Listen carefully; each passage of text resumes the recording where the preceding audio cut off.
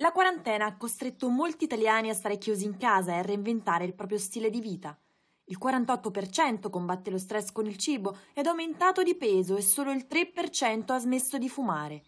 È quanto è emerso da uno studio sui cambiamenti delle abitudini e dello stile di vita in lockdown a causa del Covid-19, condotto su 3.500 persone da Laura Di Renzo, professoressa di nutrizione clinica e molecolare dell'Università di Roma Tor Vergata, insieme al direttore del Dipartimento di Biomedicina e Prevenzione Antonino De Lorenzo.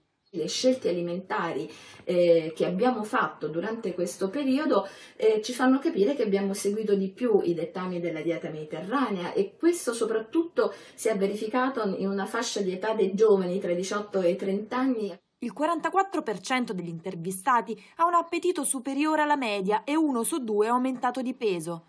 Il 43,7% si è reinventato pasticcere preparando dolci in casa, mentre il 33,6% ha preparato la pizza. L'obesità predispone alle infezioni virali e in caso di Covid eh, mm, aumenta l'ingravescenza e il rischio di, eh, non solo di morbidità ma anche di mortalità. C'è chi ha voluto continuare a tenersi in forma allenandosi a casa, tanto che la percentuale di chi fa attività fisica 5 volte a settimana è aumentata dal 6 al 16%, mentre chi non si allenava prima non ha iniziato neanche ora.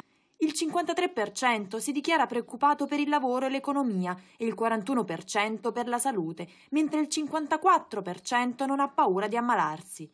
Resta comunque il 70% che soffre di una forma più o meno grave di inquietudine. Sappiamo che c'è una stretta relazione nell'asse intestino-cervello, riuscire a eh, mantenere il giusto equilibrio delle specie microbiche del nostro intestino ci garantisce una riduzione dello stato d'ansia, ma ci garantisce anche una minore infiammazione e quindi una migliore risposta, un'attivazione immunitaria con una migliore risposta all'insulto di patogeni, in questo particolare caso di virus.